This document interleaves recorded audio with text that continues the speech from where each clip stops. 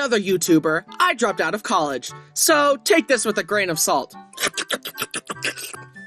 Ew.